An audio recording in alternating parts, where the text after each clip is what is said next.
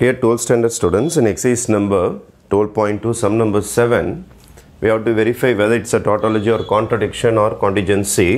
First PQ கொடுத்துருக்காங்க.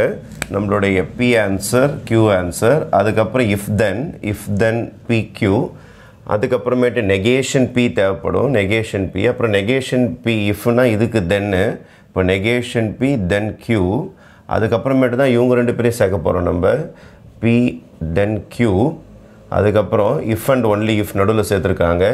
Again negation P implies Q sorry implies இல்லை if then okay fine இப்போது will start our sum இப்போது P அப்படின்னா நம்ம எடுக்க வேண்டியது டபுள் டி டபுள் எஃப் தான். டபுள் டி டபுள் எஃப் தான்.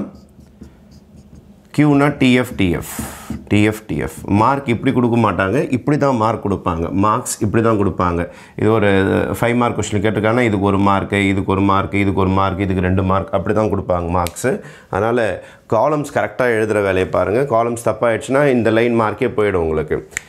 இப்போது இந்த மாதிரி சிம்பிள் இஃப் தேன் இந்த டஃப் சிம்பிள் மட்டும் ஞாபகம் வச்சுங்க. Tough sound TFF tough sound மட்டும்தான் செட் ஆகும். அது எல்லாமே ட்ரூ ஆகிடும் அப்போது இங்கே டஃப் எங்கேயாவது இருக்கா பாருங்கள் டிஎஃப் இதோ இருக்கு பாருங்கள் டஃப் மற்ற எல்லாமே டி தான் நீங்கள் வேறு எதையுமே பார்க்க வேணாம். டஃப் சவுண்டு வர்றது மட்டும்தான் எஃப் வரும். டஃப் அந்த சவுண்டு மட்டும் தான் எஃப் வரும். மற்ற எல்லாம் டி வந்துடும் நெகேஷன் பினா இது அப்படியே ஆப்போசிட்டாக எழுதணும்.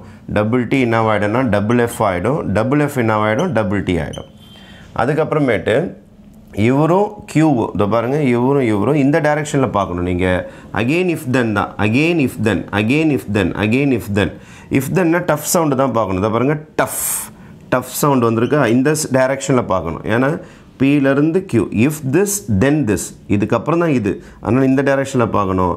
டஃப் சவுண்ட் வந்துருச்சு அவங்களுக்கு டட்டா வரல. ஃபஃபா வரல. எஃப்டி வந்திருக்கு. டஃப் சவுண்ட் வந்தால் தான் போடணும். மற்ற எல்லாமே ட்ரூ ஆகிடும் மற்ற எல்லாமே ட்ரூ ஆகிடும் இப்போ என்ன சொல்லி சொல்கிறாங்கன்னா இந்த ஆன்சரும் இந்த பாருங்கள் இந்த ஆன்சரும் இந்த ஆன்சரும். நான் டாட்டர் லைன் போட்டிருக்கேன் பாருங்கள் இந்த ரெண்டு பேரையுமே அதாவது P if P then Q இதையும் நெகேஷன் பி தென் கியூ இருக்குது பாருங்கள் இது ரெண்டுத்தையும் மிக்ஸ் பண்ண சொல்கிறாங்க இந்த சிம்பிளில் இந்த சிம்பிள் வந்ததுன்னா இஃப் அண்ட் ஒன்லி இஃப் வந்ததுன்னா சேம் லெட்டராக இருந்தால் டி வரும். இங்கே பாருங்கள் சேம் லெட்டர் இருக்கான்னு பாருங்கள் சேம் லெட்டர் இருக்குது. அப்போ டி வந்துடும் சேம் லெட்டர் இருக்குதா?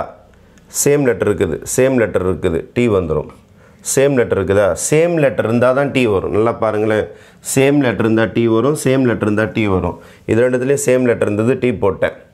இது ரெண்டுத்துலேயும் இல்லை. இது ரெண்டுத்துலேயும் இல்லை. இது ரெண்டுத்துலேயும் இல்லை. அப்போ இதெல்லாம் என்ன ஆகிடும்னா உங்களுக்கு ஃபால்ஸ் ஆகிடும் அப்போ இது மாதிரி மிக்சடாக வந்திருக்குது. ட்ரூ ஃபால்ஸ் ட்ரூ ஃபால்ஸ் இது மாதிரி கலப்படமாக வந்ததுன்னா இட் இஸ் கால்டு கான்டிஜென்சி அப்போது வெறும் எஃப்ஆ வந்தால் தான் கான்ட்ரடிக்ஷன் வெறும் டீயாக வந்தால் தான் டாட்டாலஜி டிஏஎஃப்பும் உங்களுக்கு மிக்சடாக வந்து போச்சுன்னா டி அண்ட் எஃப் என்ட்ரிஸ் வந்து போச்சுன்னா இட் இஸ் கான்டிஜென்சி இப்போ since the entries in the last column of the propositions compound propositions uh, compound propositions are true and false true and false it is என்னன்னு சொல்லினா நீங்கள் contingency okay contingency this is your final answer okay since the entries in the last column of the compound propositions are true and false it is contingency okay thank you